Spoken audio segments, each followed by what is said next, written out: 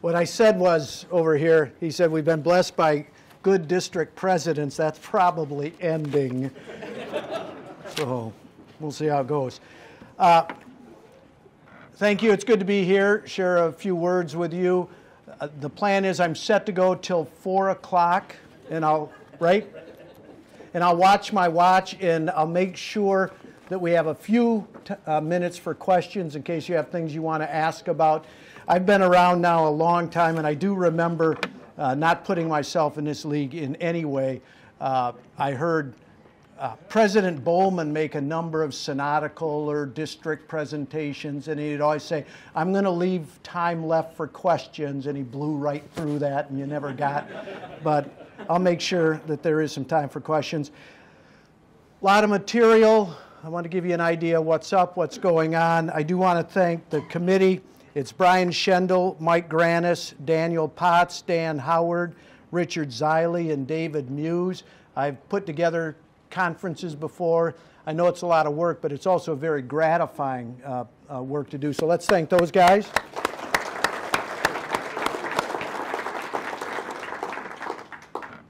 Uh, I would thank also those that have gone before me, uh, which isn't to make it sound like they're dead. David Maier has been a big help to me in getting starting, uh, started on this. I talk to him every Wednesday morning for a few minutes to get caught up and ask him, what in the world do I do with this? And uh, he's been very gracious about that. Bill Hoesman was a big help to me. We've done some, I called it recalibration. I think to the staff it might finally look like reorganization. Uh, but uh, I talked to Bill Hoesman about uh, when he first came into the office, and he did do, he brought somebody in to think differently about how to arrange the staff. I chatted with him, and he gave us a lady out of Frankenmuth, Beth Rendell, and she came in and was just a big help. And so uh, Bill's been a, a, nice help in me getting started. Uh, this was a weird one. Uh, John Hines was my pastor growing up. I don't know if you know that. I barely got through catechism. I always said to my catechism class, I said, make sure you pay attention or you'll be stuck teaching this the rest of your natural life. but had a, had a nice lunch with John Hines and uh, view him as a, as a fellow that I can lean on as well. Uh, I started a sermon, which is not, I'm not going to give you the sermon, but I preached at my last church yet, or Sunday, and I started the sermon something like this.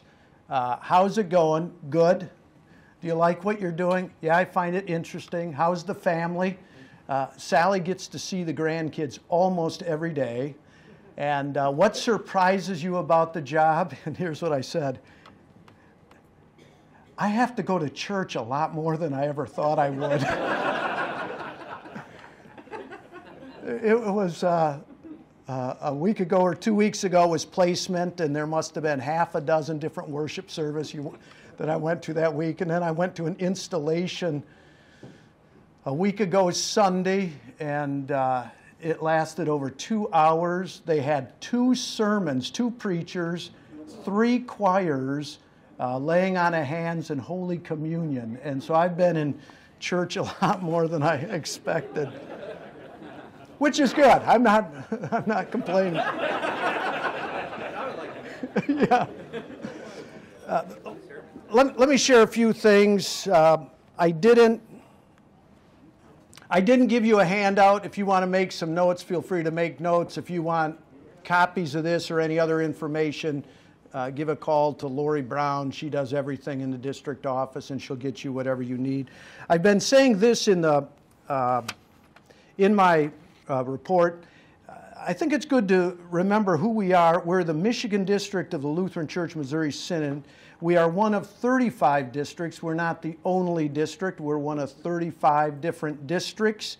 And I think it's important for us to keep in mind that we are part of a greater whole. We are part of the Lutheran Church Missouri Synod. Uh, there's great benefit in being part of a national church body. I'm intrigued by all of the non denoms that are really these in, independent congregations, and especially in Detroit Metro, you see what they're doing. They're creating their own denoms. They're creating their own denominations. uh, they must find some value in that. We, I think, well, we already have one, so we should value the denomination that we're a part of. I think we need to live that way. I've got some things I'll say about making sure make sure that you participate in that. Uh, here in this in the Michigan district, we have 349 churches. You can see them: five missions, five high schools, uh, lots of elementary schools and early childhood centers in the state of Michigan. In the work that I'm doing, uh, I really want to make sure that my accent is here in the district and on the local congregations. Uh, for all that the, the synod might have or do, I'm convinced that the kingdom of God moves forward in the local congregation. That's where uh, the gospel is preached, the sacraments are received. And so I want to make sure that we're focusing especially on what's going on in the local congregations. I'll share some other things with that. I, I really have this in mind, and I hope I have it in spirit ultimately. I don't know who remembers Pete Larson. He was district exec, uh, pastor of a, a, big church, and a friend of mine. When I got elected, he sent me a note. He said, Congratulations. And then he said, Remember, you just got demoted. And uh, that really is true. We say that the uh, pastor, pastoral office, the local pastor, has the highest office in the church.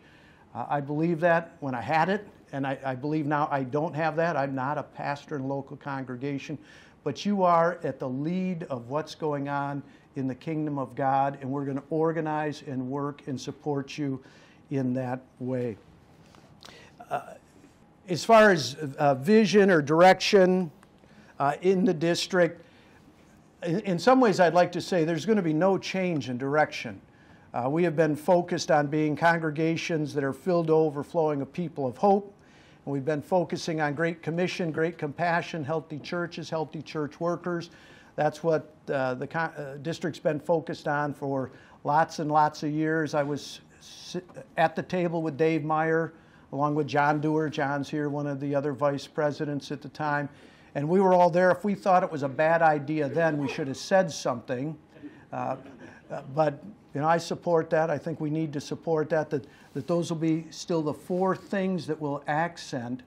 Uh, in, in carrying those out, uh, I, some of you, I've been to about, I think I've been to seven Winkels. I want to get to the Winkels. I want to contact pastors. And uh, in, in the Winkel presentations, and I put this in print, so I'll do it quickly.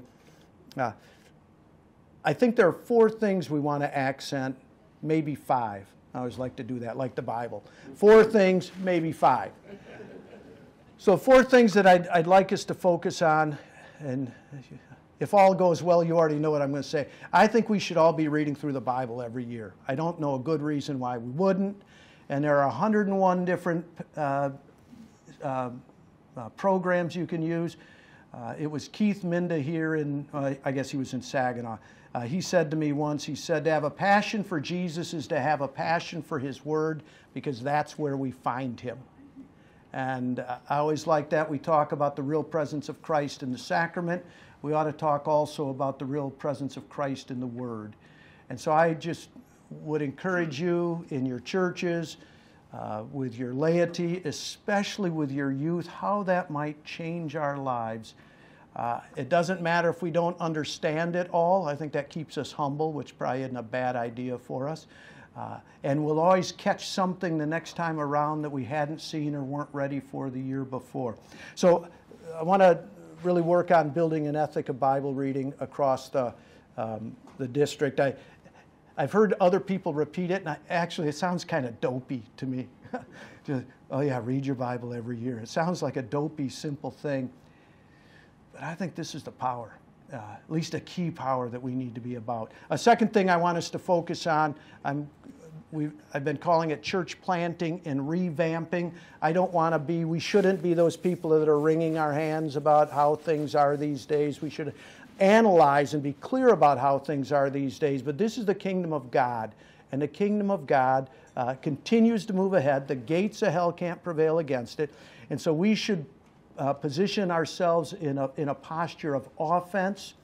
And so I want us to focus on church planting and revamping.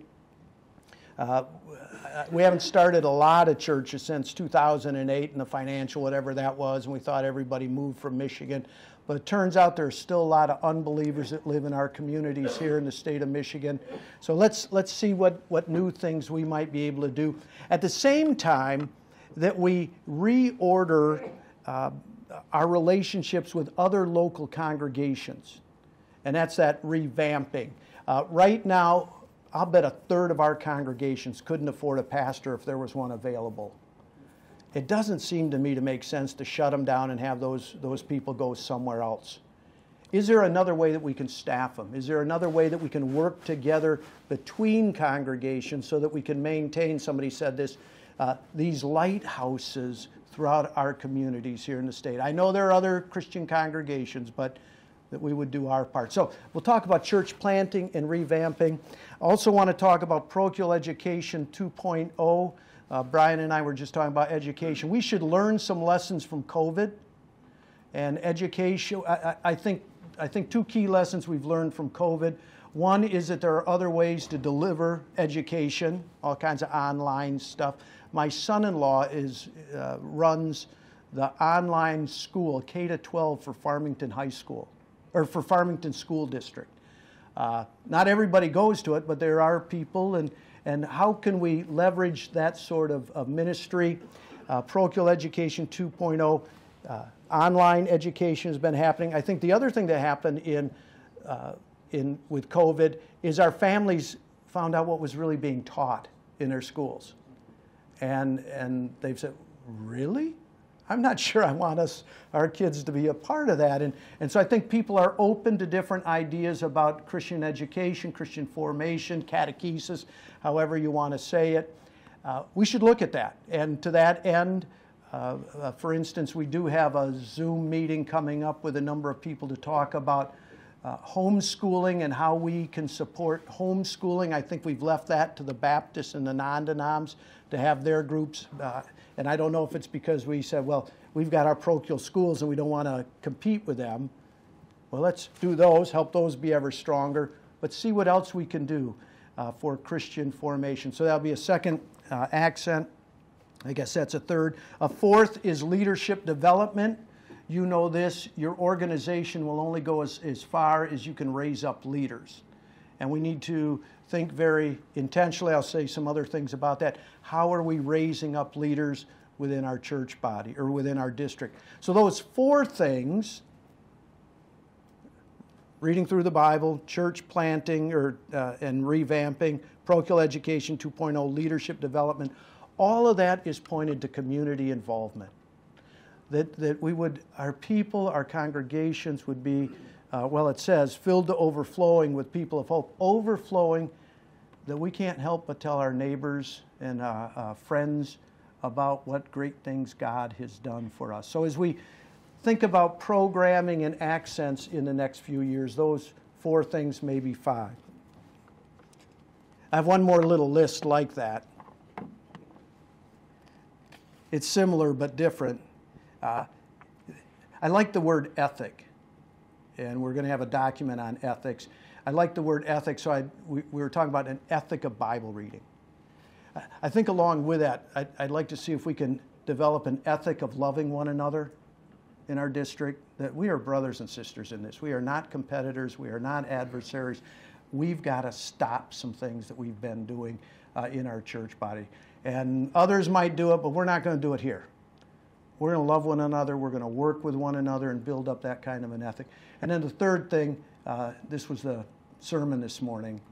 Um, uh, should have had Dr. Kolb give us that quote from Luther about 1 Corinthians 15. I was trying to think where I got, got it wrong in the sermon earlier today. Uh, but kind of uh, out of the sermon, building an ethic of grit. You know, this is hard work. This is hard work but it's the work that God has called us to do. And uh, Scripture says, you know, let's work while it is day till night comes and no man can work. And so uh, you'll hear some of those themes as we go along. Let me uh, uh push on. So if you want, what's going on in, to the degree it matters, in Davis's mind, or what's going on in the district office? What are people thinking about? What's the board of directors uh, focused on? It's those sorts of things. Uh, if you don't have a Bible reading plan, that's the one that uh, got put together for the Here We Stand campaign a lot of years ago. I will tell you, if you use that, it's missing Psalm 121. Somebody brought that to my attention. I couldn't get back in to fix it. So uh, let's talk a little bit about district staffing.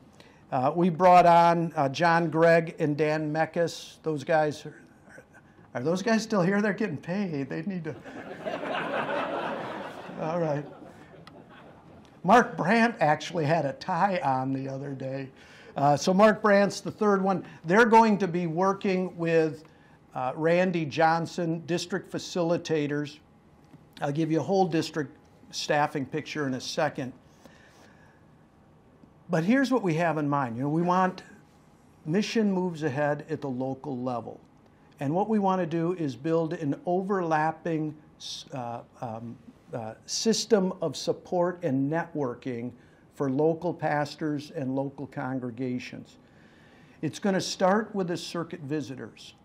And what we hope to build, we have a big circuit visitor conference tomorrow and the next day. We hope to build in each circuit really a mission direction for that circuit. Where are the vulnerable congregations? Where are the immigrant populations that we aren't reaching? Uh, where are our strongest congregations? Uh, how can we begin to leverage and work together? And that's not going to be that the district says, here's what you got to do. We'll want the, the circuit visitors working with the local pastors and, and lay leaders.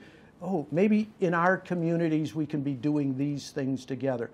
The district facilitators will be uh, overlapping that to come in and, and give support, do other networking about what's going on in other circuits, other ideas.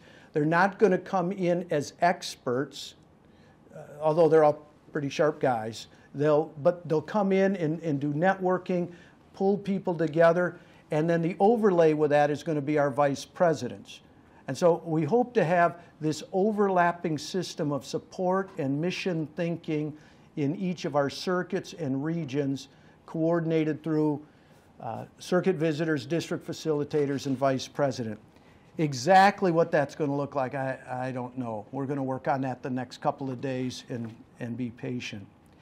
Uh, let me show you the, as we're talking about staffing, uh, we're going to have an executive team that uh, is comprised of seven different people.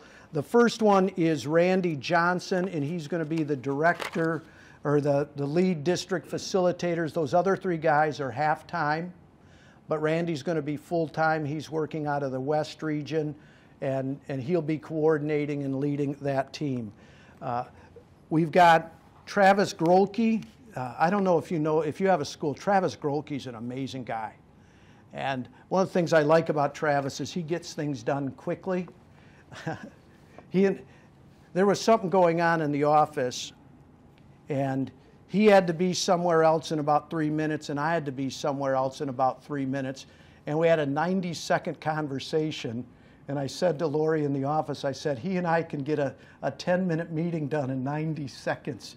And he's, uh, he just gets stuff done quickly. He's a great advocate for us in the state of Michigan, as far as the guy that's keeping track of what's, what's the government up to. He's a guy that's very involved in that uh, works with schools, preschools. He's the one that's got the um, this Zoom coming with homeschooling uh, uh, advocates. We're going to move. Uh, what I'm trying to do is, I. What we're trying to do is narrow the scope of what each person is responsible for, so that we can be more concentrated in our effort. Uh, so Todd Jones is going to be our uh, director of mission strategy. He's over that way.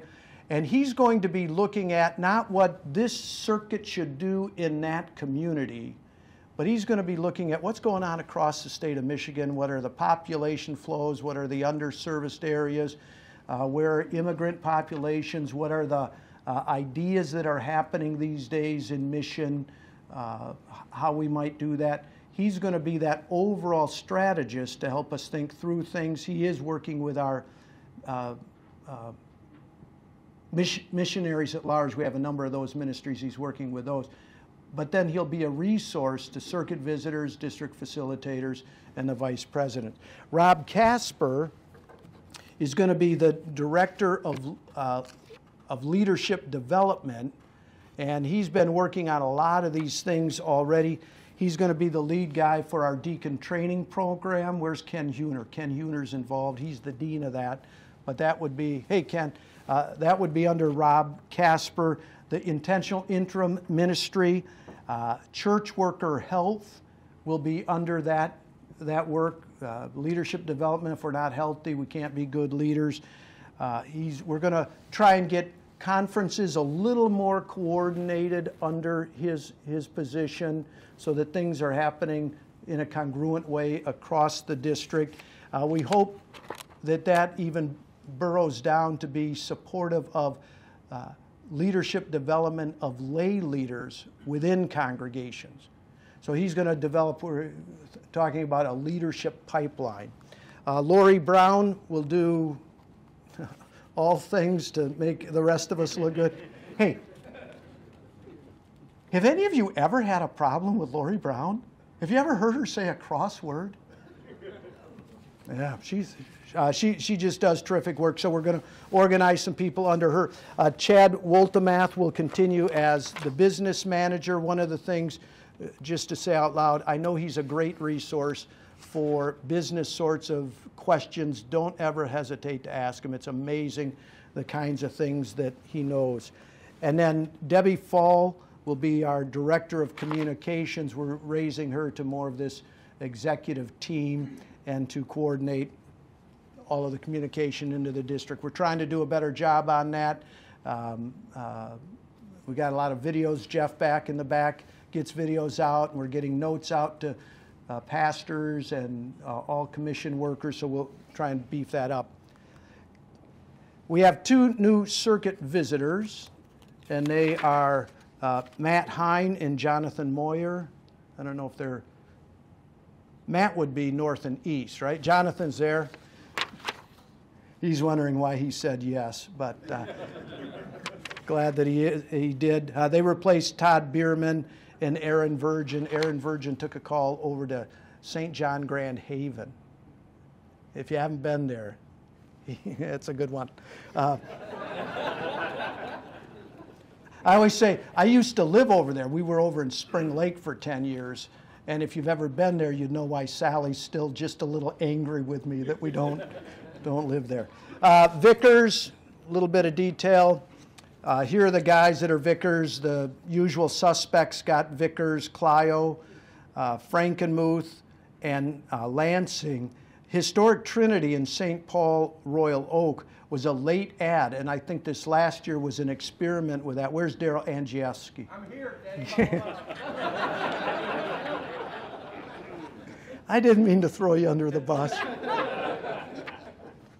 I told him I never went to the services when I was a vice president either. Maybe some of them. Well, Maier was preaching though. Yeah. Anybody that doesn't know, he's a dear friend of mine. So I'm. So those are the vicars. We're glad to have those. Uh, here's an interesting. These are the candidates that we got. Uh, we did want seven vicars. We got four. That was one more than I thought we were going to get. Uh, there were seven requests for candidates, and uh, we got uh, four, kind of. Yeah, four kind of, but we really have six guys that are coming into the district. Um, Family of God got Nicholas Gapsky. I think he vicared for them a year ago. Anybody here from Family of God? He, and and they said, whatever you do, Davis, you got to get him back. And um, so that uh, and then Micah Brooks is going to be over at, in Nunica. Carl Petzold is going to be up in St. Helen West Branch. Uh, Joel Werner, Joel's not here, right? I wouldn't think. Uh, Joel Werner, his dad's a pastor over in Holt. His brother's on the staff at CEF.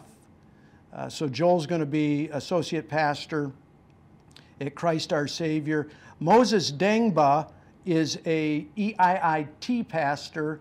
He serves at um, uh, Living Word in Lansing. I actually got to his supervisor died um, Uh, anybody remember Travis Downs? Yeah. Yeah, he, yeah, he, that, that happened suddenly. Uh, anyways, Travis was his uh, supervisor. He, he died, and then I was still over there. I got to be a supervisor, so it's kind of cool to see him be finished with, um, uh, with that program. He'll get ordained. And then we also had a colloquy uh, placement. I don't know why we don't have a picture of that, but Eric Shanburn, and Eric's right here. Eric, why don't you stand up? So Eric just got ordained last week.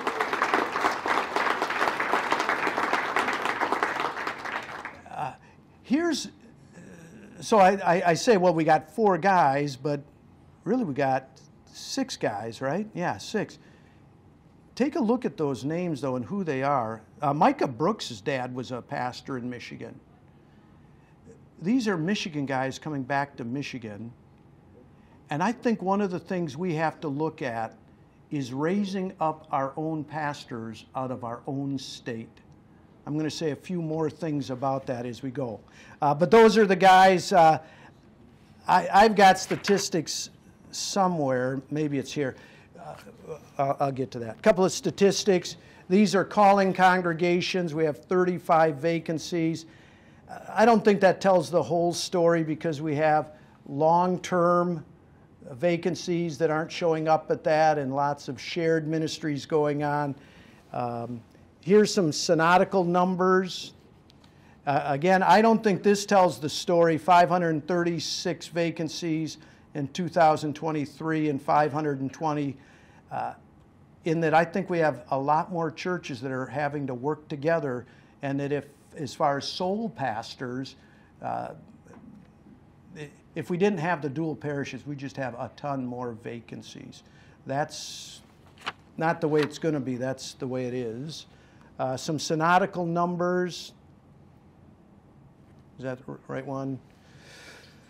Yeah, look at that being served part time, 548. That's a real increase. That's a what's that? 20% increase over 439. Is that 20%? Somebody do that? Yeah. Um, in in just a couple of years. So uh, let me see where I want to talk about pastors. Oh yeah, this. At, at the Council of Presidents, there were all kind. We uh, this last one we met with the Fort Wayne faculty, and then we went over and met with the St. Louis faculty, and they both told us about their student body, uh, student bodies, and what's going on, and uh, how many they had. I, I, think there were 60, 65 this year, and they had other statistics about incoming, and it doesn't look any better. Uh, here was the statistic that I heard that ought to really stick with us. Uh, that there are 6,000 pastors right now that includes retired guys. And they say in 15 years, there'll be 3,000 pastors.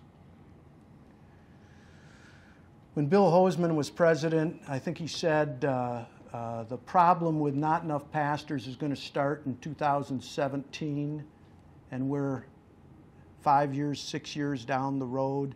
Uh, people say again, what surprises you?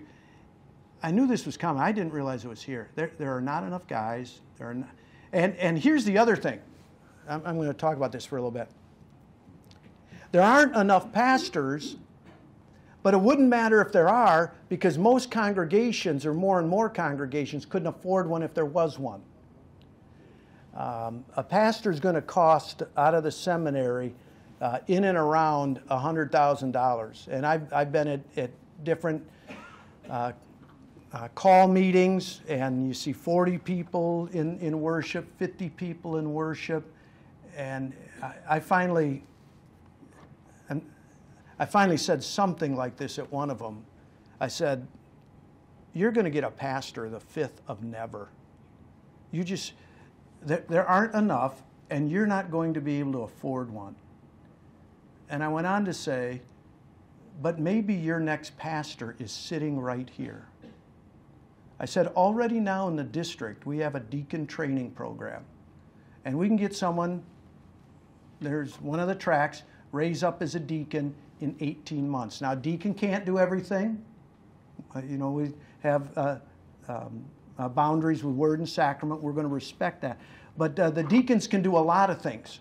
and help in a lot of ways in a local congregation. That deacon could then go on into the SMP program, although we've had some hiccups in that here and there. Uh, but that person could go on into the SMP program, and you could raise up your next pastor largely on site. Now, now people would say, well, the, you know, that's, that's not uh, as rigorously trained pastor as we'd like. That, um, you know, in the Lutheran Church Missouri Synod, we really have the gold standard of the seminary education. And what I've come to say, I have to watch this. I, I really don't want to be a one term president, so I got to. I mean, it's working out so nicely so far. But, you know, the, the lingo is that the seminary is the gold standard. The fact of the matter is, we don't have enough gold. And so we're going to need to figure out some other ways from within the district to service our congregations so that the ministry moves forward. Uh, I, I, talk about these uh, smaller congregations. I don't think we should call them dying congregations. They're small, they may be tired, but that doesn't mean they're dying. We have to figure out a way that they can fall forward instead of falling apart. And uh, working together across the circuits has got to be a part of it, but also raising up workers from within has got to be a part of it as well. And there may be some that wish we had more tools we could use to do that. I think we should ride the horses we have, and we have horses enough to at least get, get started on that. Uh, what else? Theological conferences. Uh, this was uh, this is one of those things. I'm grateful to Dave Maier. He started these theological conferences. They were supposed to be really uh, directed toward lay people and not just a clergy conference. And I know we've had some very successful ones.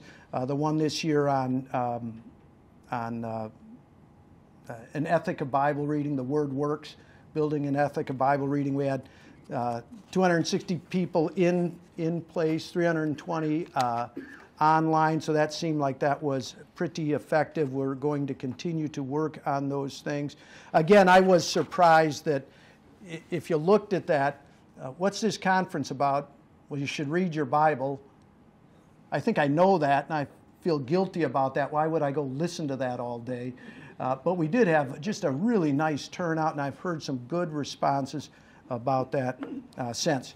Going on. Uh, this goes back a, a, long time, and I, uh, we have a number of ethics documents. Uh, this was back during the days that Bill Hoesman was district president, and we're going to be sharing those again with the circuit visitors and ask them. Uh, ethic documents, it would have to do with, well, what do you do when you get a call? Or about how your church shouldn't steal somebody else's principle in October and when to have calls and when not to have calls and just how our life together might be. So we're going to uh, resurrect those and make those available. If you, uh, you might write down this website, ministrysafe.com. Uh, there's an LCMS code. Uh, this is coming to us through Travis Grolke as a, as a tool for just what it says protecting children and those who serve them. Rick Wolfram is here. Rick Wolfram's back there. He's been in the district a year or two, and his area of expertise is stewardship life. And he's got a, a process that he wants to share with you. It's by God's design, and I think we have a, a booth out in the booth area or information. Talk to Rick. Stand up, Rick. Rick will help you with that. So uh, he's, he's part of the district staff working on stewardship development. Uh, speaking of stewardship, we have an annual John E. Herman Award. Watch this.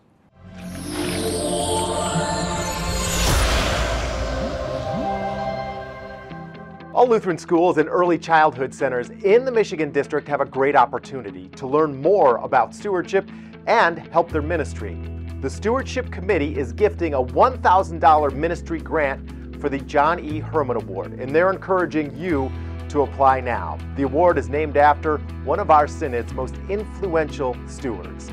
This year's award will be given to a Lutheran school or early childhood center whose students participate in the God's Children are God's Disciples program, and one or more of the following a congregational stewardship emphasis, stewardship lectionary verses, Hearts for Jesus, or an outreach event. They're looking for those who participate both within the school and also in the community at large this spring or in the fall of 2023. To get involved, check out the website michigandistrict.org/stewardship for your chance at winning that $1,000 ministry grant.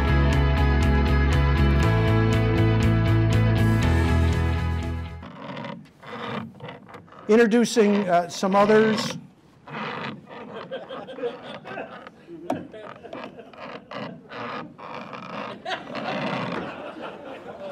I'm too tall. Who'd have ever thought?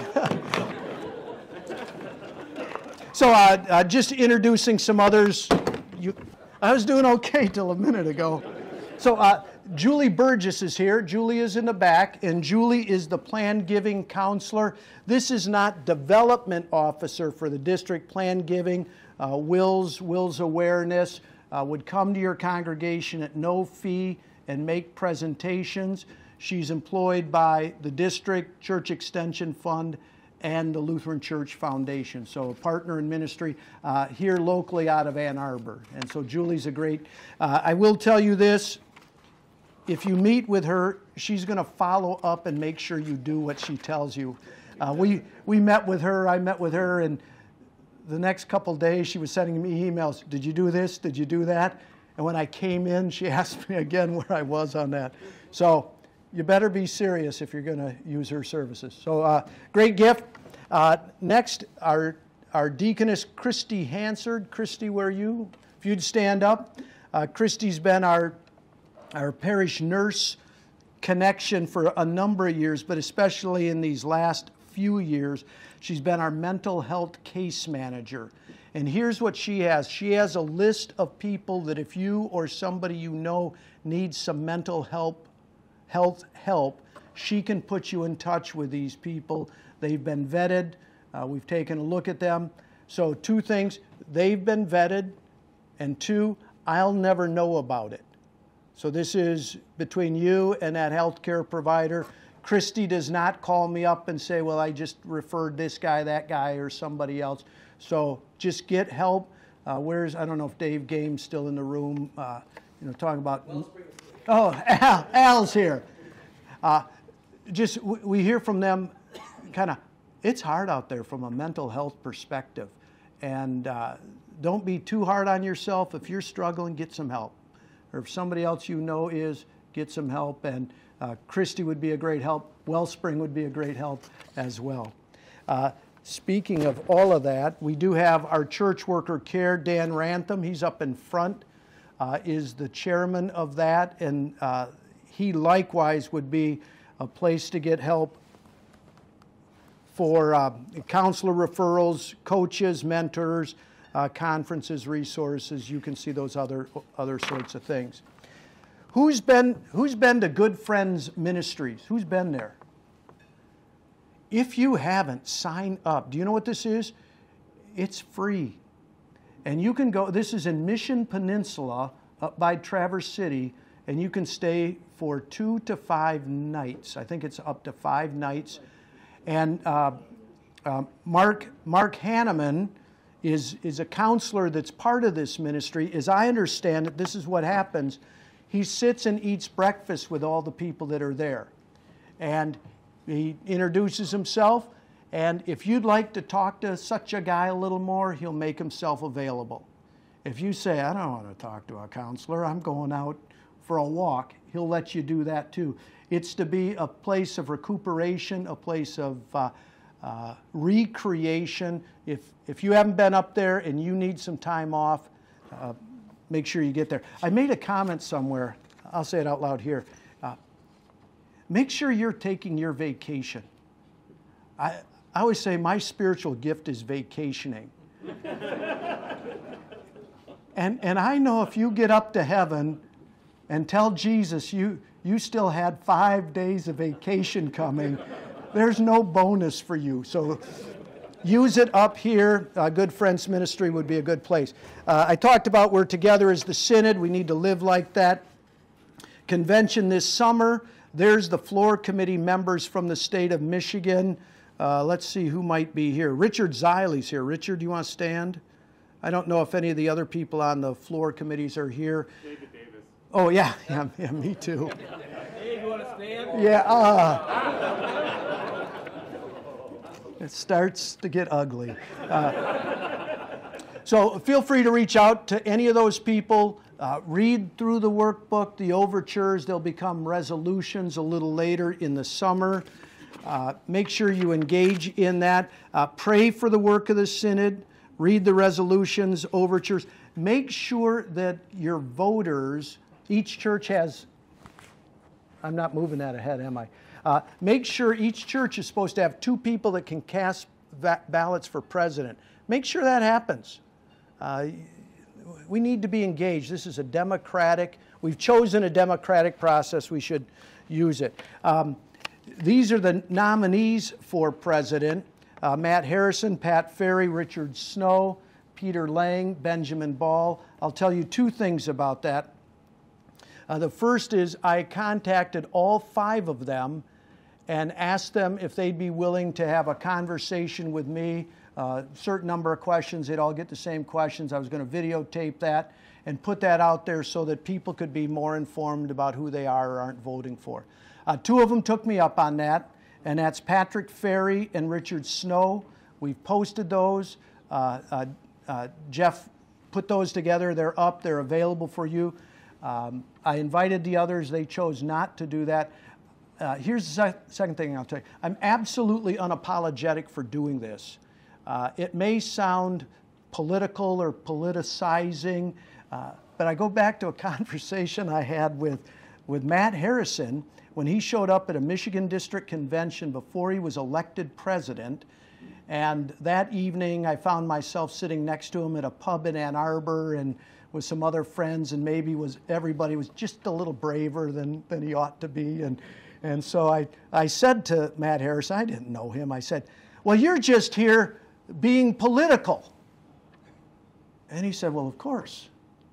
It's an election. That's how elections are. It's the system we've chosen. And so, kind of in that spirit, you know, this is an election. Figure out who you want to vote for, tell others. Uh, that's how this works. Um, so those are the names.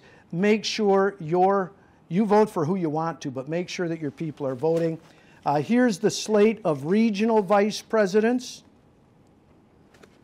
Uh, that's going to get voted on later. Those presidents will get elected during the um, early summer electronically. Uh, Pre convention meeting is at St. Luke and Haslett on June 17. Make sure your delegates are at that. Uh, getting near the end, still time for questions. Just a couple words about Concordia Ann Arbor. Uh, Ryan spoke. Uh, what a great partner. We talk about leadership development. Concordia uh, University is going to continue to be our go to in helping us with leadership development in the district. Ryan and I meet uh, uh, once a month, have conversation. I actually I get to, uh, Maier was doing this. I take the theological faculty out for dinner a couple times a year and just have some broad conversations, very helpful. Uh, I've had regular conversations with Eric Ankerberg, and he clearly wants to see Concordia Ann Arbor continue to move ahead. And so we, we want to use them as an integral part of uh, how we live together here in the Michigan District. While that slides up, I'm going to say a couple of words about Concordia Austin. And uh, I don't know what you know about Concordia Austin. I got an email late last night about sort of the latest about Concordia Austin. Uh, the latest from Concordia Austin is that uh, the, the board there is maintaining its position about I, I, I don't think they would use the word separating from the synod, but because they still want to be very connected, but organizationally to be distanced from the synod. Um, steadfast in their commitment to the Lutheran Church Missouri Synod and theology and all of that. Uh, the Concordia University System Board, which is over them, uh, has uh, called for the resignation of the president and other key staff that are supportive of that move and are calling for the removal of the board members that are supporting that. And that there would then be new board members and new uh, lead staff um, appointed. I have no idea, really. I, I, I'm too far distant to know good guys, bad guys, who's right, who's wrong. Uh, uh,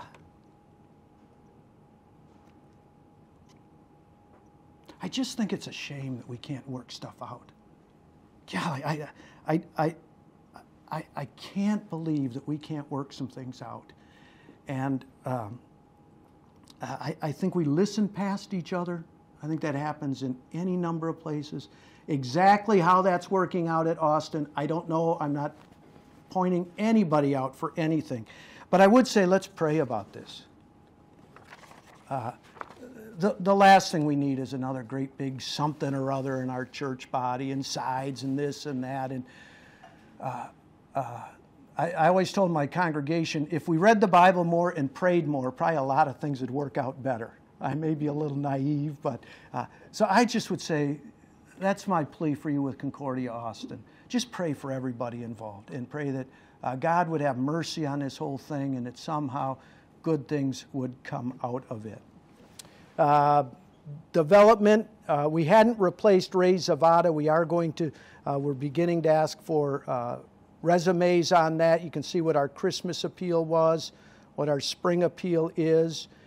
Uh, I don't know if you're familiar with this book. This was something that Dave Maier was recommending when he was still in office, The Great Sending by Will Sones, thinking about a mission as, as at the heartbeat of who we are in the church and have a number of great articles. I think actually you could use this as a congregational Bible study for a year. We have copies of that available, I believe, at the district desk out in the, I know it's not a narthex, but whatever, uh, the lo- lobby. At, the church I was at, at St. Luke, uh, we had the narthex, and then there was this other area, and somehow they called it the farthex.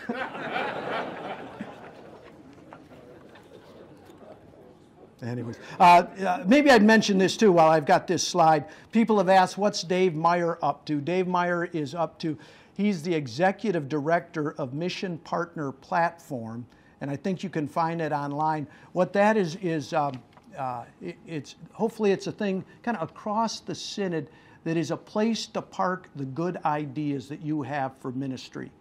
Uh, you all have programs and Bible studies and videos that you've put together that you've been brainstorming on. Uh, that Mission Partners platform, among other things, is a place that you can share resources or pick up resources from other uh, places across the, the Synod. So, just a little push for that. Uh, at the last conference I was at, the, oh, I don't know what he what's uh, what's Dean Taylor? Is he president of the Atlantic? Atlantic. Yeah, I, I don't have those straight. Uh, I was flashing all of this, and it just occurred to me what a wealth of resources we have in the Michigan district. You know, it's not a competition against the other districts, but we win. but, uh, and I'm not going to read them all, but we've got all kinds of rec- recognized service organizations right here. I know Lutheran Heritage is represented. Matt Heisey's here this morning. Uh, you can see the other ones that are up there. Wellspring is here, Good Friends Ministry. Uh, Concordia Center for the Family, Todd Bierman's very involved in that. Uh, our camps. So we have a lot of resources. Let's work together. There's also Camp Lule Lee Ellie's House and People of the Book Lutheran Outreach have applied for RSO status. So we're working on that. Right near the end, Church Worker Wellness Conference. Jim already said something about that. I'd say yay and amen. Check that out, June 29. We need healthy workers. Uh, there's going to be a, I don't know, uh, 1517. I don't know how connected you are with 1517, but they've got a conference up here at St. Lawrence. Uh, do you know how to make people in Frankenmuth mad? Say St. Lorenz. it's St. Lawrence. I, uh, we have junior high youth gathering. I think it's too late if you haven't signed up, but uh, that's the team that's going to be doing that. We have a senior high youth gathering coming. And then Church Extension Fall Conference, Jim talked about. Intentional Interim Ministry, their fall conference is September 25 and 26. I don't know where we'd be. Uh, uh, I talked to this one pastor that had taken over a church, and he said if it hadn't have been for the IIM before him, it would have been a disaster, that it just changed everything. I also am working with a church that is kind of a disaster, and they didn't want an IIM when it was suggested to them. So if, if your congregation's going through a transition, talk to Rob Casper. If you think you'd like to uh, help in this way or find out more, uh, uh, talk to him as well. We have the fall conference. This is Professional Church Workers Conference. The thing I'd mention here, you know, this goes back to the synod. These are required conferences. And for called workers, they're really supposed to be there. And especially if you have others on staff, they're saying, ah, I don't know. Uh, would really encourage you to uh, make sure you get signed up. Res- uh, um, registration for that's going to start in the next week or so. Then we do have the next theological conference, at least the theme is there. Remember, I said we're going to love one another, build an ethic of that. So the theme for this next theological conference is love talks. Haven't you ever said to that? Someone, why don't you just talk to her? Why don't you just talk to him? That's what love does. Love talks, daring conversation toward reconciliation. More coming on that. And then finally, I just would say thank you. Uh, I'm not that far removed from the work that you all are doing, and I, I remember very well how hard that is, and just want to encourage you in that. Again, with this passage uh, from uh, uh, 1 Corinthians 15 Death has been swallowed up in victory. Where, O death, is your victory? Where, O death, is your sting? The sting of death is sin, the power of sin is the law, but thanks be to God. He gives us the victory through our Lord Jesus Christ. Therefore, and I, I said that in the message. That's a pretty big therefore. Therefore, because of this, death is swallowed up. Now, therefore, we're able to give ourselves fully. Brothers and sisters, stand firm. Let nothing move you. Always give yourselves fully to the work of the Lord because you know that your labor in the Lord is not in vain. I've got time for some questions. What questions? Comments, questions, criticism? Dr. Kolb just left. I'm not going to. I do have a few comments, but I'll save them for right now.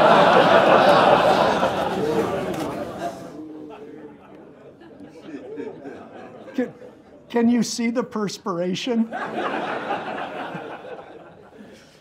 Comments, questions, observations, thoughts?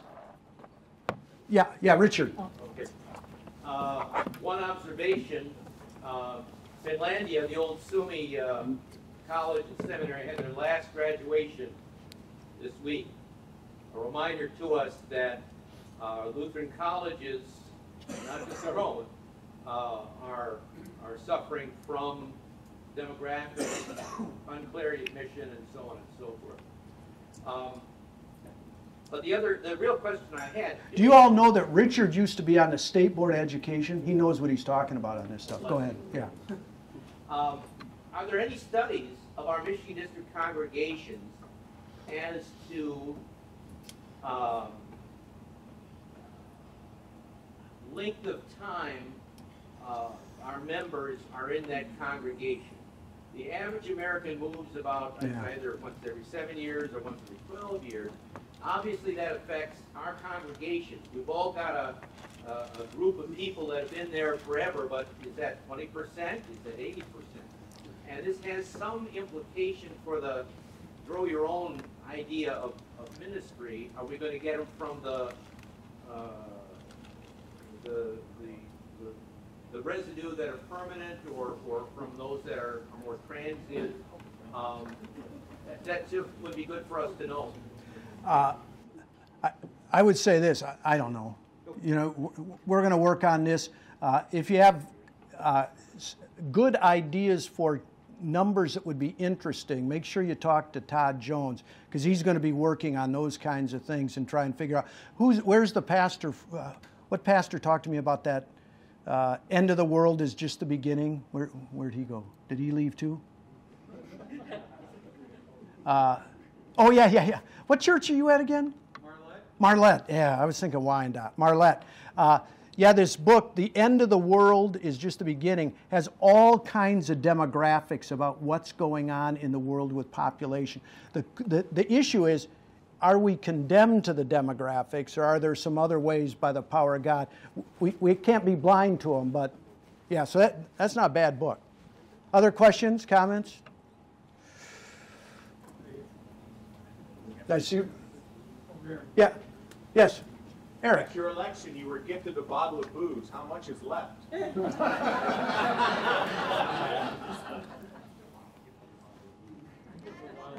Huh, How, how about this?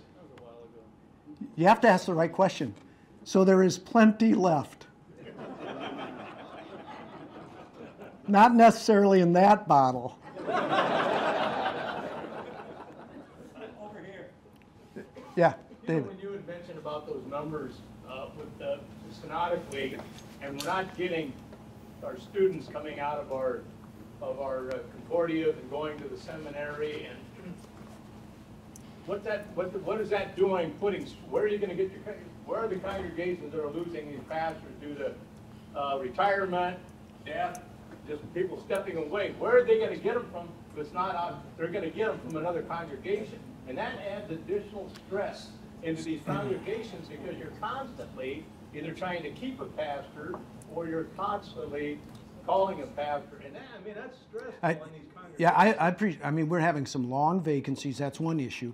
A second issue is that so many of you will match up in similar ways to a congregation. So you might end up on half a dozen call lists, and then you're always getting a call and you're telling your church, no, I'm not looking for something better to do, but, well, I keep getting these calls. And so we're in a, we're in a funky time and got to see our way through that. It's even stress on the pastor, like you just said, Yeah. you might be getting multiple calls. A pastor has to consider every call where he's at and any calls he's getting. I went through one call since I, in, in eight and a half years, and I'll tell you, that, I was just, that just wore me out. Just one call over a three-week time period, I was just sucked the, Yeah. almost sucked the life out of me, just dealing with it. Right. And if this happens to other pastors on a more regular basis, man, that is, that's difficult to do ministry under those kind of circumstances. Yeah, and uh, here's, and uh, now I'll close with prayer because it's my time's up. Now, these are tough times. They're big challenges, big issues. Uh, let's work hard. Let's give it our best shot. Uh, let's trust Jesus. Let's rely on Him, and and see where He takes us. Let's pray, Father. Thank you for being part of the Lutheran Church Missouri Synod and the Michigan District and all of the gifts you've given us. Help us to steward well the gifts we have. And we pray that you would indeed raise up workers for the harvest. Continue to bless our conference for Jesus' sake. Amen. Thank you.